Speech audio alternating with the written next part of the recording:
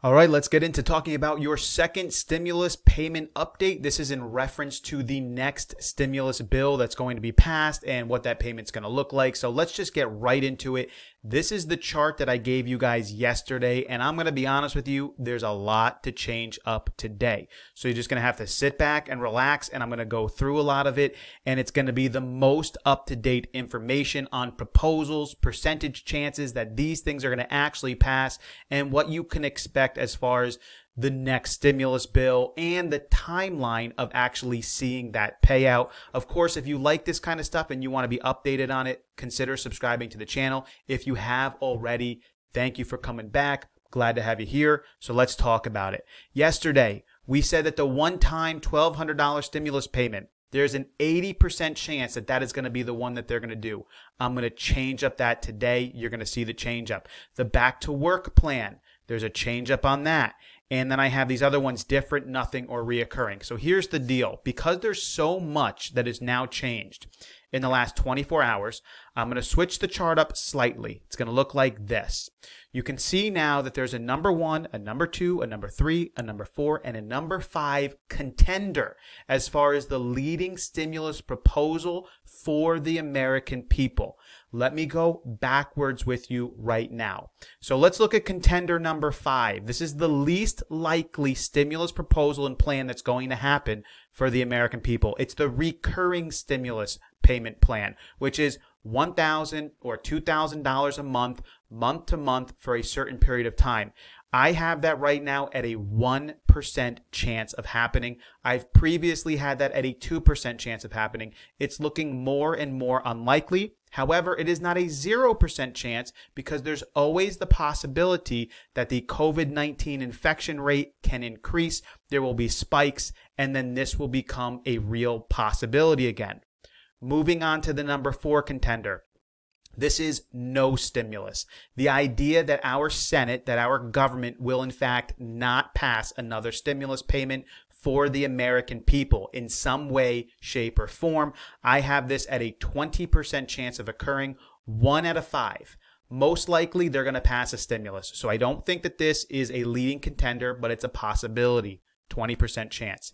Now we're getting into our top three, and this is where the big shift up is going to occur. If you've been a subscriber of mine, you're going to see the major differences right here. If you have not been a subscriber, consider subscribing so you can see these changes as they happen because we got another couple of months of this going on right now. With as slow as our government is, this whole stimulus package, this bill that they're working on is not going to end anytime soon. The number three contender is the one time $1,200 stimulus direct payment to Americans. That was previously the number one contender as the next stimulus to be given to you, the American people. It is now in my book number three. And it was rightfully so number one last week and the week before that. And even three days ago. It's the one that's written into the HEROES Act but I'm now putting it at number three and only a 50 50 shot of actually happening. There has been too much that has been coming out from senators, including Democratic senators and leaders in the Senate, including Republican leadership. And as time goes on, that this is becoming less and less likely. It doesn't mean that you're not going to see a stimulus payment in the future. It just might not be this one as far as I'm concerned. So what are the top two contenders that you might likely see at this point? The number two contender is this back to work stimulus plan. It is between either $200 to $600. They're going to debate this thing back and forth on how much it should be, how to implement it. I have it at a 60% chance of actually passing. We know Larry Kudlow said he's looking at this thing very seriously, this back to work stimulus idea, getting Americans to, to get off of unemployment and back into their jobs. And there's so much that they have to deal with with this. Like, what is the amount going to be? How long are they going to do this? Who's going to get it? Is it going to be for part-time workers or full-time workers? Are there going to be wage restrictions on it? How are they going to run it? How are they going to pay that money? Are the employers going to pay the money? Is the government going to give out debit payments to Americans through their automatic accounts. Is unemployment going to be stopped immediately? Are they going to combine this with another plan? I hate to sound like I'm rambling on and on, but this plan right now, that's the number two contender in my book, is not a very solid plan because it has too many working parts that are included within it. And when there's too many parts in a plan, I know in the back of my mind that this thing is not going to happen and or it's not going to happen correctly, which lends me to believe even though I have this at a 60% chance of actually occurring, that it's probably not going to happen. I just think it's too complicated for our government to implement. I think there's too many pieces of the puzzle with the back to work stimulus plan that they will not be able to put it together correctly and it won't happen for pure logistical reasons. There is a reason why they give a direct payment to Americans. It's simple. Even that simple plan, they messed up. They couldn't do that correctly. Never mind a back to work payment plan.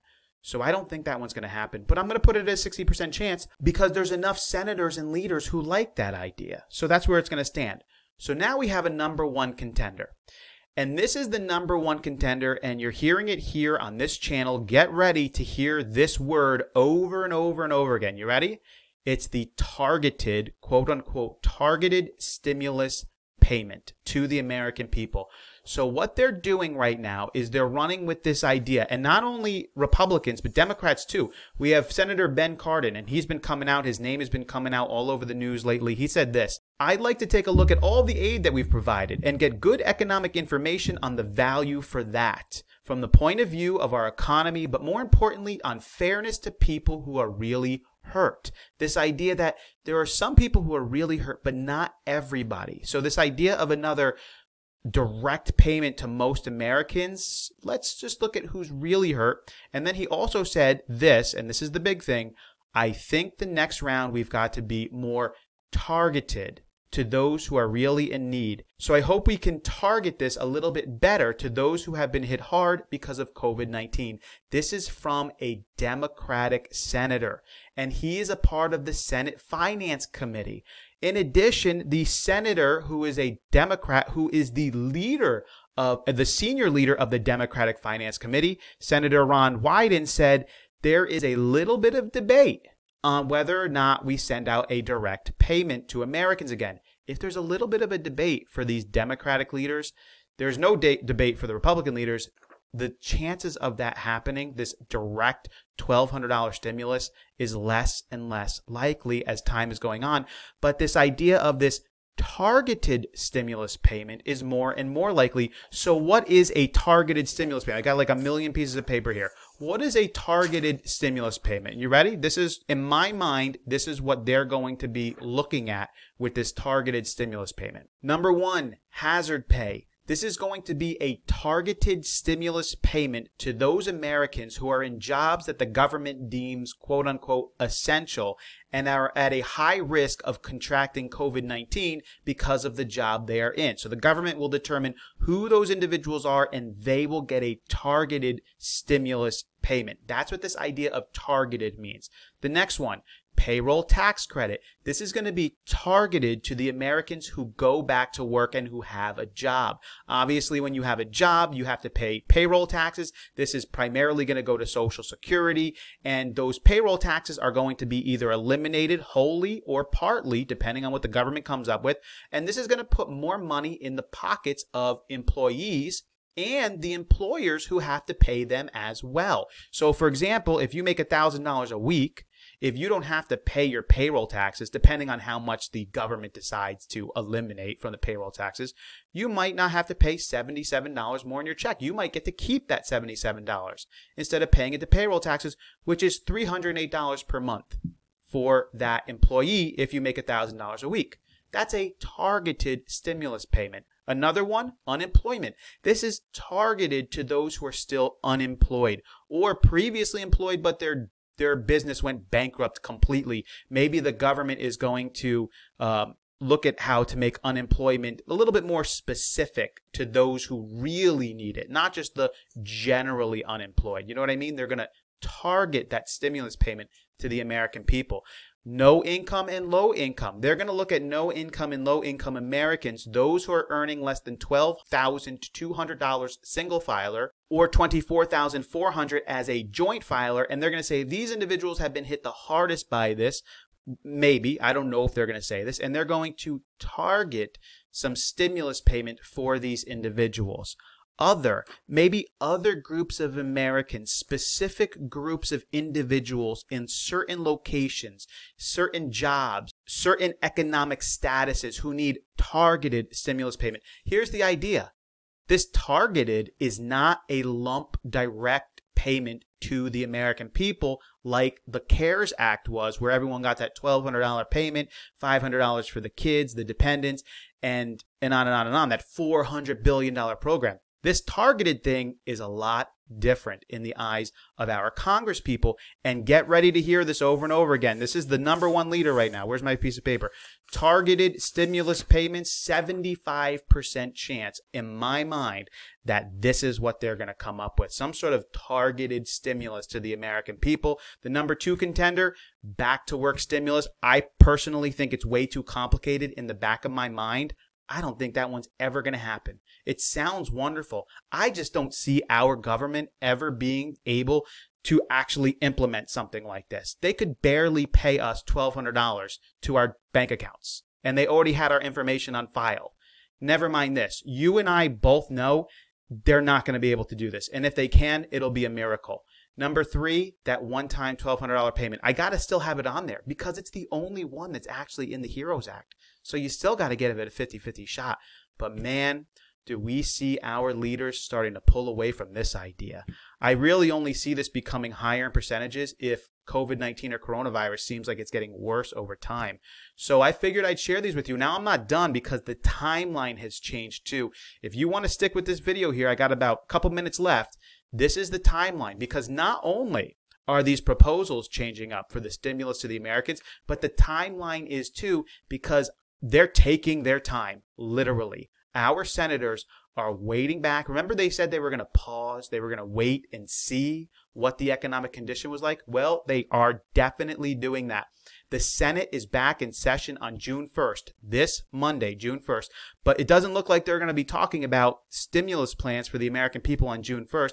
Matter of fact, Mitch McConnell said that he's pretty settled on talking about stimulus payments in the end of June sometime. So I don't think that they're going to take up this stimulus payment talk until June 15th or June 22nd.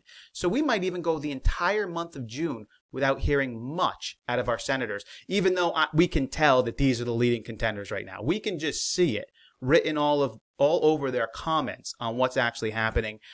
Again, if you appreciate all this information, please subscribe to the channel. I know I'm stopping myself here, but I'm going to keep doing this. We're going to keep going through this, and I'm going to load it up like this every single time with these simple sort of categories to make it as easy to understand as possible. Once the Senate takes up the bill, they're going to debate it, they're going to change it, and that's going to happen between June 15th and June 26th. So they're not even going to vote on it until June 26th. And this is the best case scenario. Look at my title up there best case scenario. They might even take their time more than I'm actually giving them here on this timeline. Then, if they pass it, the House is going to have to take it up. And they basically have three voting days in their schedule, which is between June 30th and July 2nd. So they have to first off like the bill that the Senate just passed. And if they like it and they're okay with it, then they'll pass it between June 30th and July 2nd. But what are the chances that the democratically run House of Representatives is going to like the Senate bill run by the Republicans. Doesn't seem like it's going to be very high in my mind that they would. So why would they pass it between June 30th and July 2nd if they don't like it? Maybe by some miracle they will pass it on July 2nd, and then the president will sign it July 3rd, which means if there is any stimulus payment included, one of these top five contenders, nobody's going to even see it until July 15th to August 12th. Best case scenario talk about the government slow as molasses with their ideas. I mean, this is why the one time payment is so significant. It's easy, it's simple, it's fast. It's stimulus in the American people's pocket right away. People are going back to work, give the Americans money. But instead, this is the mess that we have. Please don't give me a, if you gave me a thumbs down already on the video because you don't like all this stuff, please, it's not my fault. I'm just putting it together for you. All right. I just want to give you the information that I know is accurate. So please give it a thumbs up for all the work and the information there and subscribe to the channel. I'm going to keep you guys up to date on this. I hope you guys found the information valuable. As always, I will catch you next time.